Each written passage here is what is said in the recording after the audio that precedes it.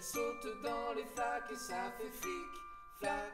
Elle soigne ses bobos avec les gouttes d'eau. Orage de vivre ou quand la maladie inspire et donne la force de créer un spectacle puissant.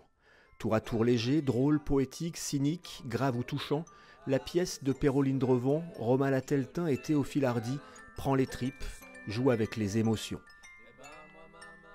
Orage de vivre raconte l'histoire d'une patiente atteinte d'un cancer du sein, le parcours de Péroline, de son entourage, des aidants, des aimants, est mis en mots et en musique. Dès le début de la maladie, dès le diagnostic, j'ai commencé à écrire un espèce de journal intime euh, de mon cancer. Euh, et, en fait, euh, Romain Lateltin et Théophile Hardy, avec qui je travaille sur le spectacle Orage de Vivre, m'ont dit on va faire ce qu'on sait faire. On va en faire de l'art. Tu as quitté comme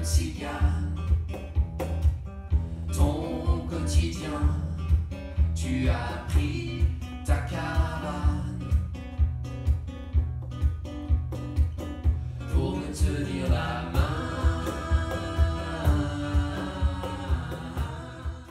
Et en fait, ça me sert d'abord à faire un podcast un livre audio qui s'appelle euh, Histoire de Saint, où je retranscris mon parcours et je me dis, comme les gens sont souvent euh, mal à l'aise, on va libérer la parole et je vais raconter mon parcours. Et donc je commence comme ça, et ensuite, entre deux chimios, à chaque fois que j'ai un peu d'énergie, euh, je vais voir les garçons et on écrit, on compose, je leur parle de ce que je vis. Et, je leur dis voilà ce qui me semble hyper important à mettre dans le spectacle, etc. Et on avance comme ça, petit à petit, entre deux soins et, jusqu'à arriver à aujourd'hui où ce spectacle est enfin prêt. Dès qu'elle nous a annoncé sa maladie, euh, ben, on s'est dit là, il y, a vraiment quelque chose à faire, il y a une forme d'urgence. Souvent, on a un peu enfoui nos émotions. Et grâce à ce spectacle, euh, on s'est dit qu'en plus d'être une forme d'aide pour Péroline, comme des aidants par l'art en fait, euh, on pourrait aussi, nous, être, être aidés par ce spectacle, au même titre que le public. C'est un ascenseur émotionnel, on peut passer par euh, des moments où on va rire, où on va même faire la fête. Il y a des chansons euh, qui sont assez euh, entraînantes. je pense il y a une chanson qui s'appelle Attila le 1 qui est un peu voilà, on tape dans les mains, tout le monde tape dans les mains sur scène.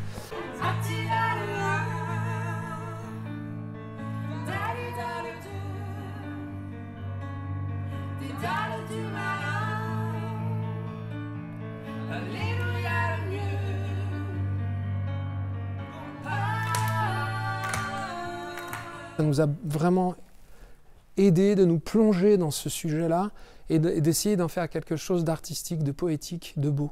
Chère famille, bienvenue aux funérailles de Saint-Gauche. Les chimios, l'hôpital de jour, l'ablation d'un organe, tout y passe. Texte ciselé et humour noir, des chansons pour soutenir les émotions. Orage de vivre est une œuvre nécessaire, vitale.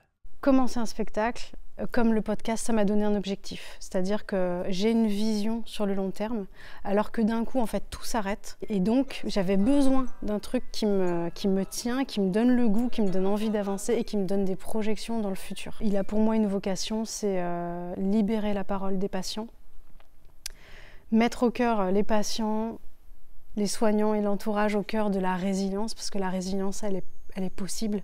J'ai choisi de mettre le premier coup de tondeuse. Je la prends dans la main. J'approche la lame de mon front. C'est froid. Et je passe le premier coup. J'ai une légère nausée. Et en fait, à ce moment-là, je suis fière.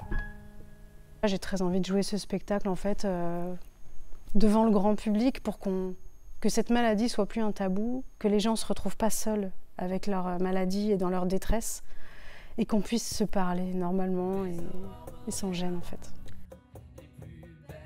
Avec leurs âmes d'artistes, Péroline et ses co-auteurs transcendent l'épreuve et offrent aux spectateurs un moment esthétique et poignant. Force, courage, dérision, orage de vivre, orage au espoir.